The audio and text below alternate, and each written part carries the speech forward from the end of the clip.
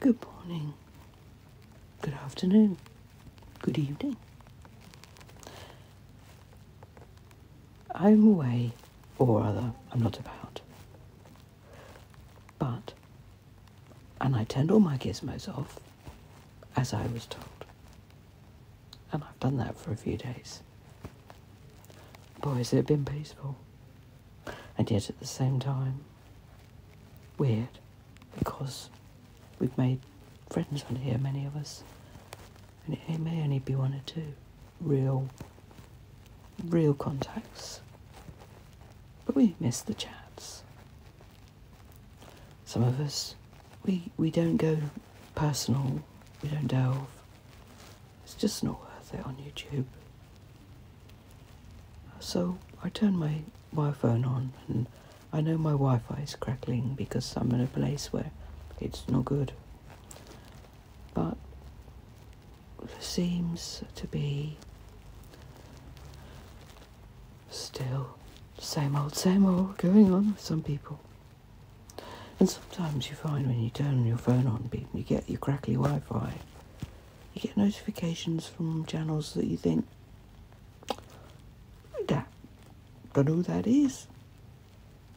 See So you watch a bit, and you think, yikes, and then you go down a rabbit hole, and then you find yourself absorbed in pain and watching somebody actually crying in their car or because they've been abused or you know all that sort of thing that's been going on for well I've been on for three years. And and, and it just never ends the everyone comes on with often a really good purpose a good ethos and then goes it just goes.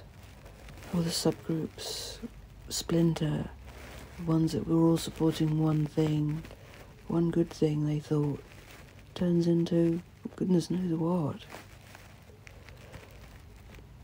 And then we have the multi-panel panel panel panel panels of lives I've only ever gone on one or two because not really for me. But occasionally, I'm enjoying it. There's laughter, or the subject intrigues me, or I feel I have some knowledge in my own small way. I do try to think before talking or typing, hence my name. Doesn't always work, but it's worth a go.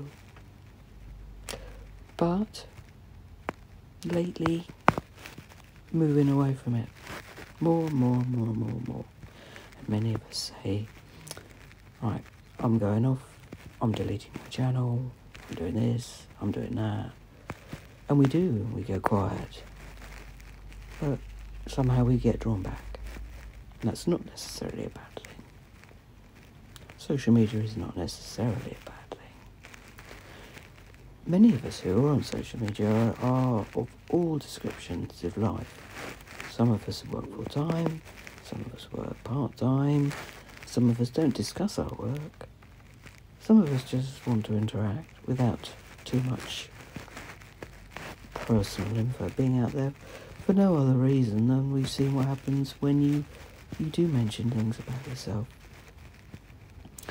So I'm kind of contradicting myself here by being here and saying I'm not supposed to be on here I'm supposed to be resting. But at the end of the day, when I turned it on and got the crackly Wi-Fi just now, I saw one or two live panels and people were crying and angry and destroyed and but the one thing I really loathe is when children get hurt as a mum and a gran. That really, really hurts me, really angers me,